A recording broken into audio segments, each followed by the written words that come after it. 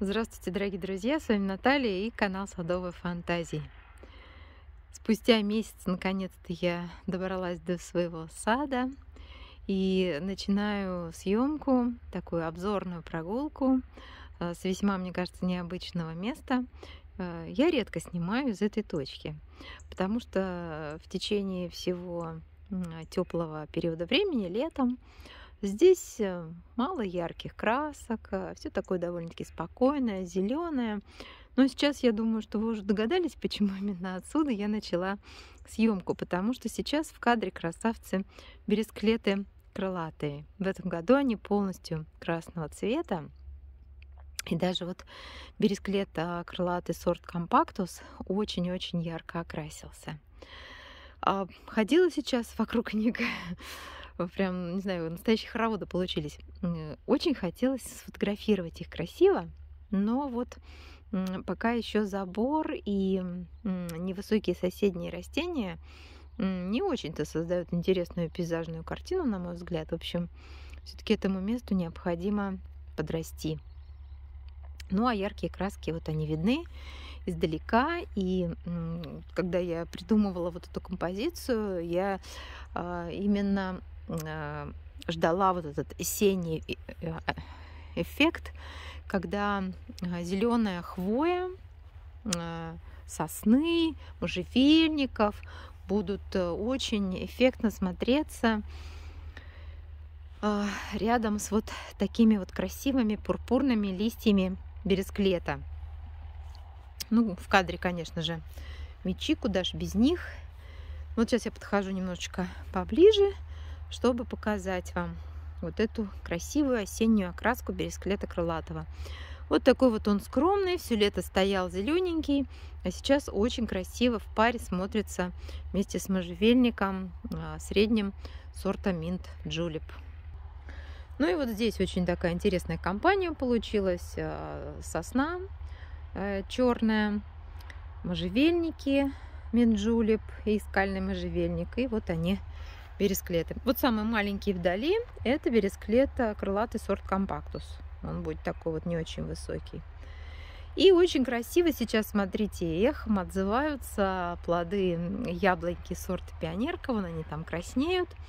А, плоды у меня были в этом году первый раз. Оказалось, что они весьма вкусные.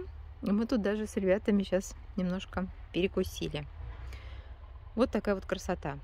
А сосна, наверняка будут вопросы. Видите, желтеет, это осенний хвоепад. Ничего страшного. А, ну, обычная физиология у растений. А здесь очень красиво сейчас, прям как-то, я не знаю, настоящей осенней краской цветет лапчатка. Желтенькая. И вот добавляет этой осени. Вы уже видите, что здорово пожелтели березы. Очень красиво все это сочетается а, с голубым небом. Вообще я люблю э, сад в любое время года. И осенью, наверное, люблю особенно вот за эти яркие краски. Так, ну и мы сейчас с вами подходим к яблоням. Вот видите, а, краснеют плоды сорта пионерка. Очень-очень они вкусные. И, наверное, варенье из них тоже будет отличное. И вот вдали более такой красно-оранжевый цвет. Это сорт Эверест. Ну и доцветает гортензия. У нас уже были морозы. И такой уже, знаете, основной цвет в саду уже скоро станет коричневый. Вот так вот, смотрите, усыпана яблоня Эверест. Красиво очень смотрится. Мне нравится, особенно на фоне голубого осеннего неба. Очень хорошо. А, на вкус яблоки так себе. Пионерка лучше. Пионерка съедобная, а это вот Эверест нет. Но я знаю, что а, птицы будут очень рады. В прошлом году был маленький урожай у Эверест, э, все было съедено. Но в этом году, я думаю, что как раз им тоже будет для корма отлично. А, новая площадка в саду. Вот так сейчас она выглядит. Желтеет также хвоя у Туи Yellow Ribbon. Вот так сейчас это выглядит место. И совсем недавно я показывала вам видео про гортензию гибридную сорта Розанна. Это видео, которое я показывала вам совсем недавно, было снято в начале сентября. А сейчас уже э, начало октября, и, как видите, она еще до сих пор цветет. То есть полных 4 месяца в году у вас это растение будет цвести. Ну, если, конечно, вы живете, как я, в Подмосковье. В теплом климате Наверное, она будет цвести и раньше начинать, но э, там ее лучше все-таки высаживать в полутень, потому что, ну, гореть она начнет. А, зона отдыха моя с розами, с креслами Адирандак. Вот так сейчас выглядит. Розы, в общем-то, надо готовить к укрытию, но не знаю, как в этом году мне получится. Получится ли, в принципе, это вообще сделать. Очень красиво сейчас смотрится опавшая а, с берез листва. Газон очень хорошо выглядит. Сейчас мы с вами пройдем во входную зону. Я покажу вам, как выглядит газон, который я посеяла в конце августа.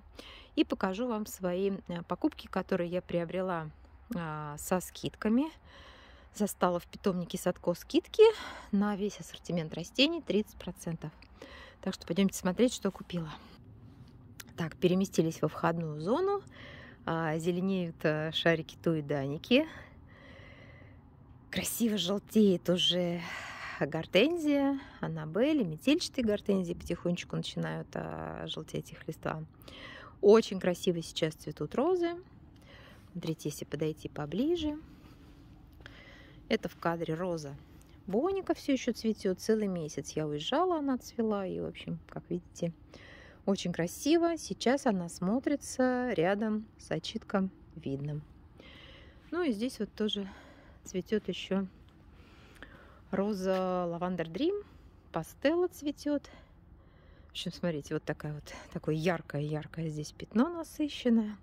Осенью мне всегда нравится, как смотрятся пурпурные растения. Мне кажется, они в этот период времени смотрятся естественно. Ну, осень же яркие насыщенные краски. А вот летом они, конечно, выделяются. Так, друзья, смотрите, газончик зеленеет. Его, в общем-то, уже можно покосить. Не знаю, насколько я это успею сделать. Ну, такая вот красивая, а, красивый зеленый прямоугольник получился. Смотрите, как красиво смотрится. И цвет прямо сейчас такой вообще насыщенный, насыщенный зеленый. Очень хорошо получилось. В общем, я довольна проделанной работой и, самое главное, результатом ее. Прям это вот то, что я, собственно говоря, и хотела. Так, ну теперь давайте к растениям. Так, ну вот оно мое новое приобретение. Не удивляйтесь, это туи. Конечно, они малышки. Даже не знаю, будут ли они метр в высоту. Скорее всего, нет. А куда планирую посадить? Расскажу в следующем видео. Обязательно заглядывайте, покажу, что у меня получилось. У меня очередные переделки в саду, но все, в общем-то, все, что я запланировала зимой, вот я потихонечку продолжаю исправлять ошибки в саду и потихоньку переделываю а, некоторые части сада. И пойдемте покажу еще одно вам растение, которое я очень давно искала в питомниках и наконец-то купила. Так, ну а пока мы бежим с вами э, к новым растениям, хочу показать вам, как сейчас выглядит а, живая изгородь из кизильника блестящего. Смотрите, а, вот она тоже начала уже где-то желтеть, где-то даже пурпурные листочки появились после пересадки весенней, находится на полном солнышке. В общем, здесь все хорошо. Теперь нам осталось пережить эту зиму. Я понимаю, что место сложное, что она будет а, немножечко поломается здесь под снегом. Почему здесь такие посадки и что, что ждет их весной? А, об этом можно узнать в видео. Ссылку на видео я оставлю в комментариях а, о сложном месте в моем саду. Так, и еще одно местечко не могу вам не показать. Смотрите, а, это тоже место, которое а, злаки и хвойные, которые я доделывала в этом году. Тоже оно сейчас очень хорошо смотрится, симпатично.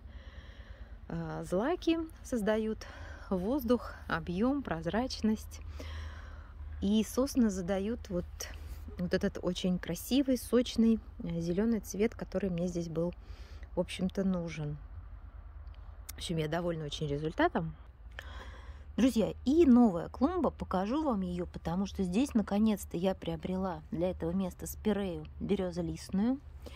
И сейчас она уже в осеннем окрасе, но, скажем так, не в лучшем состоянии, потому что, ну, долго стояла в питомнике, наконец-то было посажено, поэтому, конечно, а, ну, питания растениям не хватало, и, в общем-то, вот оно только-только приходит в себя. Красоту, в общем, свою покажет, друзья, в следующем сезоне. Но самое главное, что я ее купила. Я ее собираюсь размножать, буду черенковать, потому что у меня на это растение очень большие планы. И вот так же, как бересклет, чем хорошо это растение, тем, что летом э, это спокойный зеленый цвет, а осенью она выдает буйство цвета, и э, тем самым это будет такой временный эффект, очень-очень украшающий сад в определенный период времени. Ну вот, друзья, собственно, на этом все. Прогулка у нас сегодня с вами получилась не маленькая, но я и в саду в своем не была целый месяц. Конечно, мне в первую очередь хотелось погулять, побродить, посмотреть на сезонные изменения в саду и поделиться этой красотой с вами. Всех благодарю за внимание, всем спасибо и всем пока-пока.